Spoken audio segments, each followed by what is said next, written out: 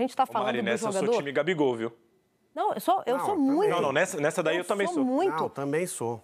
Ele, é, ontem, junto com Bruno Henrique e Arrascaeta, se colocou na prateleira do Zico e do Júnior. Hoje a gente 13, fala né? dos atletas mais vitoriosos em títulos, né? Com o Flamengo, são 13 no total.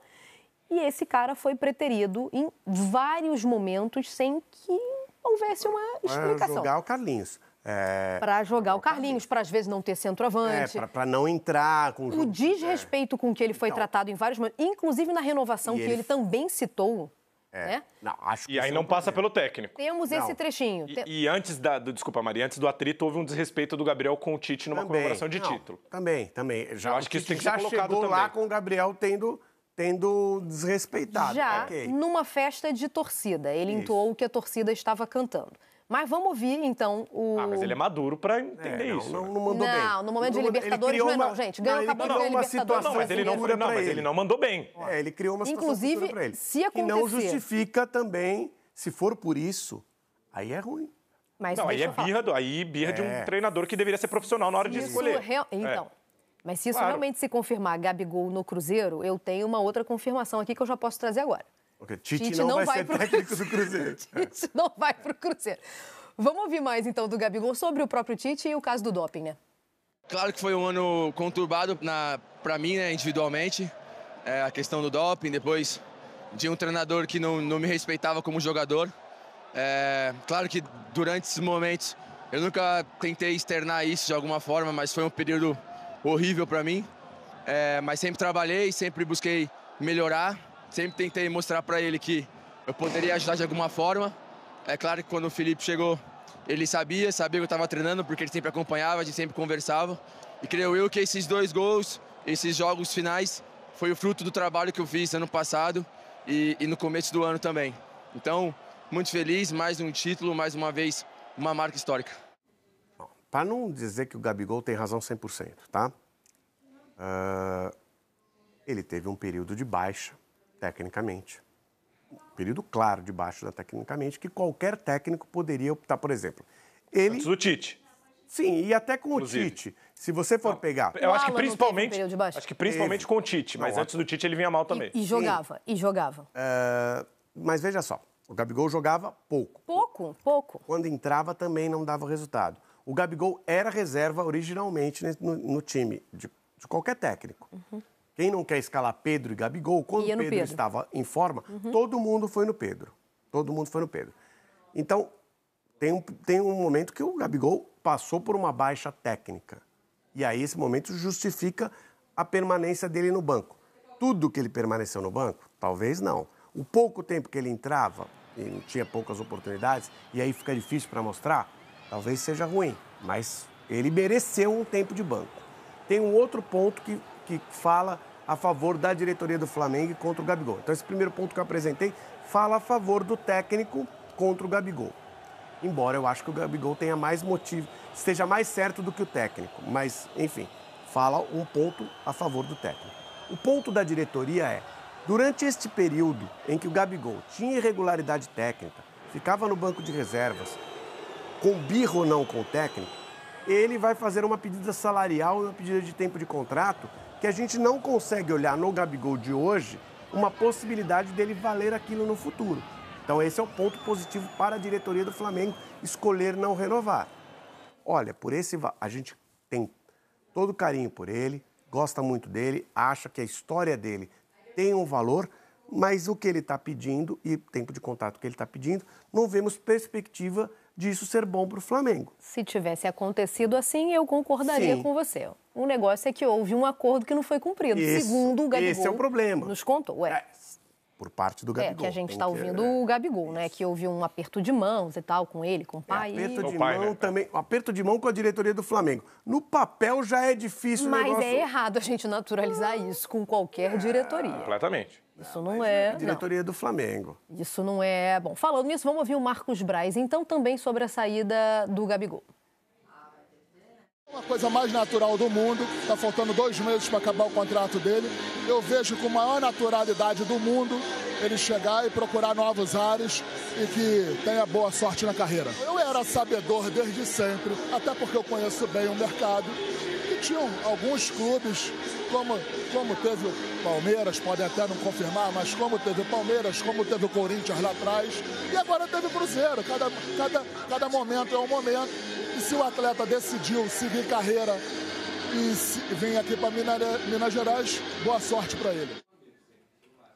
Tá, então, resposta do Marcos Braz sobre a saída do Gabigol. É, quando foi perguntado já, né, sobre a saída dele rumo ao Cruzeiro.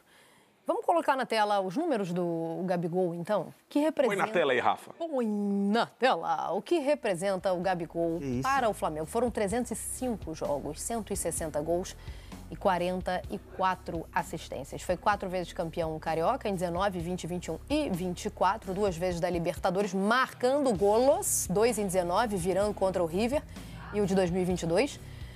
Duas vezes campeão brasileiro, 19 e 20, duas vezes campeão da Supercopa do Brasil. O Flamengo já está na Supercopa, inclusive, né? Com essa Copa do Brasil. 2020 e 21. Copa do Brasil foram duas.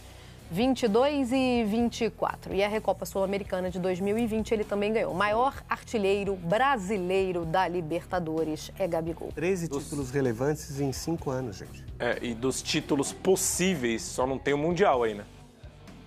É. Eu tô fazendo algum cálculo errado. Não, Não, é só isso, não né? tem Mundial. Carioca, Brasileiro, Copa do Brasil, Libertadores, Supercopa. É isso. Só não, tem o o Mundial.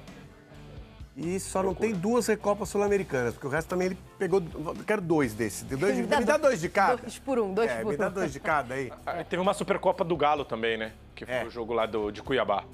Não. Seria mais uma, que foi nos pênaltis. Olha quantas decisões e quantas conquistas. E sendo importante, sendo. ah, ele, ele é o principal dessa, desta era, que é uma era tão grandiosa quanto, ou maior, não tem um Mundial, mas que os anos, os anos 1980 do, do Flamengo. Então, desta era, Gabigol é o principal nome desta era mega vitoriosa do Flamengo. Nós falamos em seis anos. Seis anos, 13 conquistas relevantes. Mais de dois títulos relevantes por ano. E tem um ponto que não entra em campo, mas faz com que ele seja ainda maior, que é a marra e a personalidade que se transformam em carisma para com o torcedor. É, se o Gabigol, enfim, andar em qualquer rua do Brasil, e a gente sabe que tem torcedores do Para Flamengo tudo. no Brasil inteiro. Exato. Para tudo. Para tudo. Para tudo. Então você pode colocar um jogador até tecnicamente melhor do que ele. Pedro, no caso. Eu acho o Pedro tecnicamente melhor que o Gabigol. Mas o Gabigol no Flamengo foi muito mais decisivo e muito mais carismático. Então, eles não falam na mesma prateleira. E aí, quando eu falo que, já me antecipando, que é uma decisão boa, pensando no Gabigol carreira, ele sair do Flamengo hoje, é porque para o time que ele vai, ele vai ser um protagonista. Ou pelo menos ele chega como um protagonista. E eu não sei se isso ia acontecer no Flamengo do ano que vem, pela queda de rendimento técnico dele, por mais que ele tenha se reencontrado agora nas duas finais eh, da Copa do Brasil, mas principalmente pela volta do Pedro. Ah, tá voltando, é um problema de joelho, mas enfim, é o dono da posição, ainda é o artilheiro do Brasil. Então acho que nesse momento, para ele, Gabigol, vai fazer muito bem, até pelo ambiente desgastado que se criou, principalmente fora de comissão técnica e jogadores. É, e muito me surpreende, eu gostaria de ter um entendimento melhor sobre isso, ele não ter acontecido na Europa. Acho que tem algum motivo que a gente tem uma desconfiança que pode ter ocorrido, e muito pode ser da questão do perfil pessoal, Comportamento. é, de comportamento, e não ter acontecido também na seleção brasileira. Sobre o comportamento na Europa, eu acho que pode ter pesado muito a questão pejorativa de ser um brasileiro e o comportamento mais elevado pode prejudicar. A gente tem um monte de jogador europeu que tem um comportamento de M3 pontinhos e segue na Europa, seja no banco ou seja como titular. Tudo bem que se eu não tenho informação que ele teve um comportamento diferente dos outros, mas assim, se ele realmente teve, ele mostrou voltando para o Brasil que bola ele tem. É. Ele representou isso, mas enfim. é, assim, sorte para ele agora no futuro. nem, nem é, não diminui, tá? O fato de não ter uma carreira europeia e não ter um grande su- sucesso na seleção Arrascaeta também não tem, gente. Não diminui. A gente Arrascaeta tem alguns não tem nomes carreira- que não, é, não carreira tem e que, Mas por tem na acaso, tem seleção. no, é, não tem, mas é, não tem carreira euro- europeia, mas são destaques do futebol brasileiro. Só para citar no Flamengo, mais um, é. o Arrascaeta. E para mim o termômetro é o cartazinho. Hoje tem gol do Gabigol. É isso. E as crianças fazendo a faixinha. Coisa todo mundo fazendo ali. É. Ele tem é problema no punho mesmo ou não? Porque ele sempre põe a faixa. É marra, né? Não sei se é um charme. Eu não, gosto. Eu se for marra, é, é, é, dentro esperado. Não sei Ô, Lofredo, tá... mete um desse aí pra você ver se você não faz sucesso também. É, acho, acho que tem que fazer gol, pelo menos. Hoje tem gol de Gabigol. Luiz Teixeira, muito obrigada, viu? Adorei ter você Aí de voltou, volta. Hein,